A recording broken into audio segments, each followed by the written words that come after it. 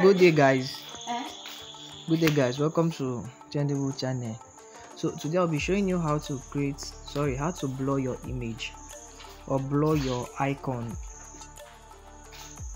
How to blur your image or blur your icon on your design. How to blur them. Now let me say for instance now now if you check now this image is blurred already. If you observe this image is blurred. I see it's blurring so Hello? let me say Cover.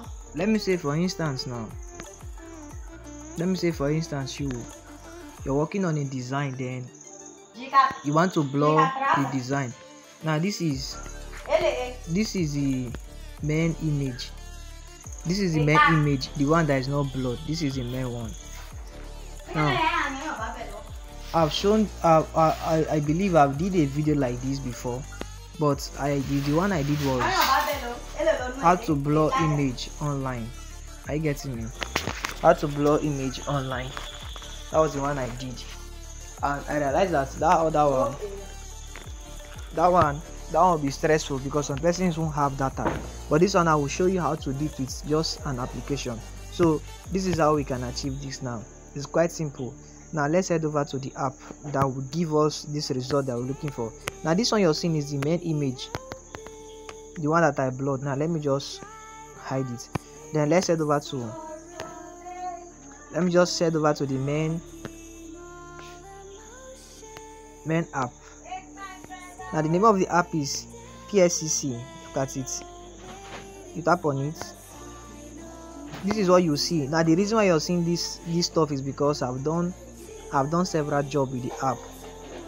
Then what you tap on here tap on there enter your photo library. Now photo library this is what you see different packages of where your image are being stored. Now you go straight to the file that carries the image you're looking for.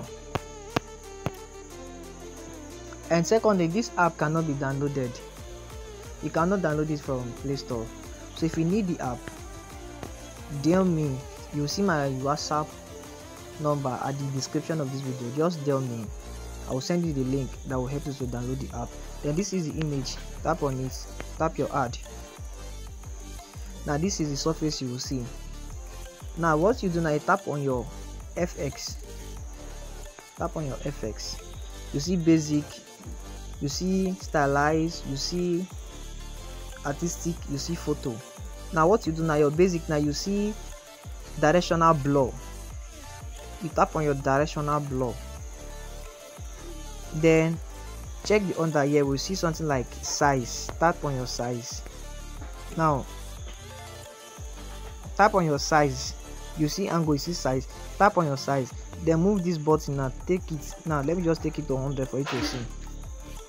I see that we've blurred our image then if maybe you can if you don't love the 100 you can even reduce it take it to 90 or 80 let me just leave it at 100 for the sake of this video. Then what you do now tap your good.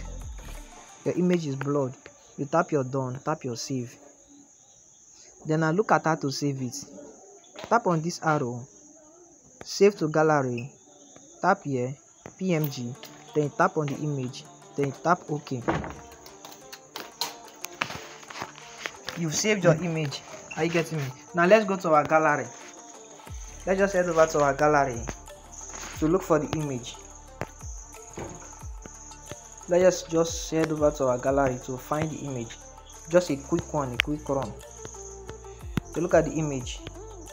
I see now let's just let's import that one. Now let's import the image to our Pixellab. Let's just import this recent job to our Pixellab